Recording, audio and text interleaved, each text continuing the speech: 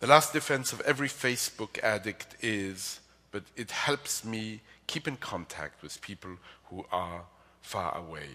Well, email and Skype do that too, and they have the added advantage of not forcing you to interface with the mind of Mark Zuckerberg. But well, you know, we all know, if we really wanted to write to these faraway people or see them, we would. What we actually want to do is the bare minimum, just like any 19 year old college boy would rather be doing something else or, or nothing. At my screening, when a character in the film mentioned the early blog platform LiveJournal, still popular in Russia, the audience laughed. I can't imagine life without files, but I can just about imagine a time when Facebook will seem as comically obsolete as LiveJournal. In this sense, a social network is not a cruel portrait of any particular real world person called Mark Zuckerberg. It is a cruel portrait of us, 500 million sentient people entrapped in the recent careless thoughts of a Harvard sophomore. But that's the thing which blows my mind 500 million people.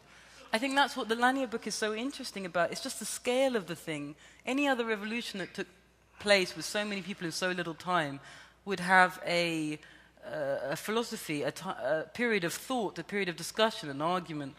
But the internet revolution has happened like that. So quickly. And most of us have just fallen into it without and, and have serious become consideration. addicts. And, uh, become addicts. I mean, in truly. the past two years, uh, no one in this room can deny it. Walking down streets in New York, every day, three or four people walk into no, me. I mean, It's everybody- like, if you were from a different planet, you would say it looked like a zombie race, like this. Everybody is davening. I mean, it really feels that way. Um, and so that just needs to be thought about. It's not that it needs to end, but it needs to be thought about. But what is lost? Because I'm, I am curious about this. I am curious, and I want to push you in that direction because I'd like you to think what I'm thinking, which is that. Um, and then we'll get to changing my mind. But, but, but, but the po- uh, what strikes me, I went to see the film yesterday, and it's, a, as you say in, in your fine review, it is a very well made film with extremely good, I mean, the acting, I would say, is perfect, and the way it is cast is perfect. And the, but the subject matter, the paucity of, the, the paucity of, Well, of, of experience. But, I see, I think the subject's quite interesting. I, I think it's interesting about uh, people who perhaps have a positive experience. But, you know, with all th- these things, the problem is that you can't go backwards. Like, you, you can write as many articles about the internet revolution as you like. You can't turn the thing backwards. And that truly is a conservative position. There's no putting the cat back in the bag. That's not going to happen. But it might be that we can think a bit more carefully about where we're going next. And to me, if you ask what's lost, it, it's just a very simple thing. It's, it's something about being relational rather than performative.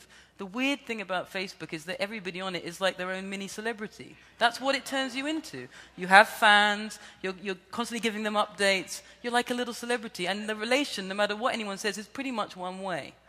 And then you are voyeuristic about other people's celebrity profiles and how many friends they have. And it's an idea of being human which is one way. And real life is relational. You have to deal with other people. You have to have some kind of relationship with them. And you can't just You have to look perform at them. yourself.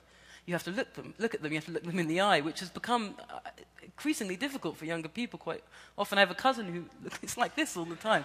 But on the internet, you know, it's all So it- it- self it- it- revelation. so it creates a sense, uh, a a feeling or a sense of intimacy without the necessity for it. That, I, I think that's true, but I also think, and I wanted to try and say in the piece, that you don't need to have a kind of, oh God, where are we going to reaction, because young people will always find their way out of these things. They're not, no generation is more foolish than the one that came before. They'll always find creative ways to work themselves out of this situation. And you can already see it happening. There are already artists on the net, all kinds of radicals on the net. They'll find some way.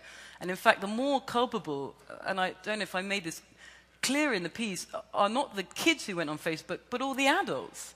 It was the adults who didn't even, it behooved them to sit back and think for a minute and question what is this platform, what is it doing? But they felt like, you know, girls fainting in a puddle over this stuff. They really, they all went on Twitter, they all went on Facebook. The, it was the adults who really fell for it.